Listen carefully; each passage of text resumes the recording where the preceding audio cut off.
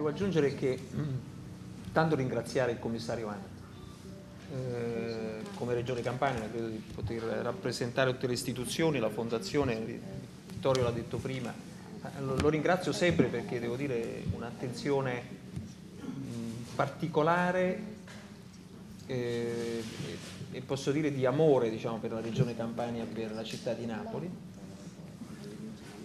Quindi non solo la, la, la, la funzione propria di, del commissario Anna,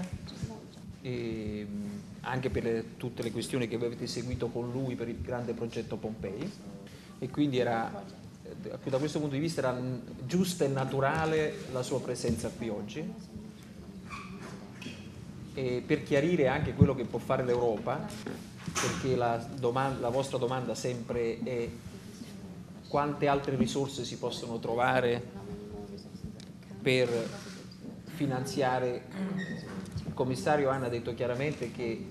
compete alle istituzioni locali e al governo italiano trovare le risorse per la ricostruzione, però come eh, ha dato la disponibilità delle attività che l'Europa e la Commissione europea fa per sostenere, rafforzare la divulgazione scientifica, la ricerca, l'innovazione con tanti programmi che l'Europa mette in campo e quindi vale per il passato, per il presente e per il futuro che dovrà avere Città della Scienza ancora come punto di riferimento. Per quanto riguarda il tema della localizzazione, che mi pare che è il tema che appassioni oggi di più, il governo ha ritenuto di dover coinvolgere una, attraverso un decreto interministeriale. Quindi di fatto ha rafforzato una governance che già c'era tra le istituzioni locali e la fondazione IDIS ehm, attraverso una, un, una, una struttura, un comitato fatto da tutti a partire dal comune che chiaramente ha le maggiori responsabilità anche se il comitato è presieduto da professor Trombetti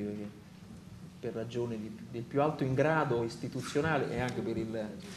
diciamo, per il curriculum eh, e per il lavoro che ha svolto in questi, in questi anni per la divulgazione scientifica e la ricerca in Campania,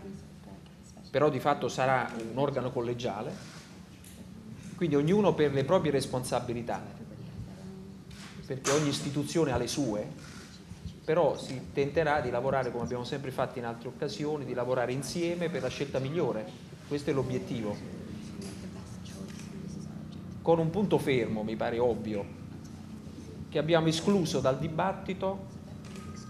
e il Comune l'ha detto dal primo giorno, e noi condividiamo questa posizione,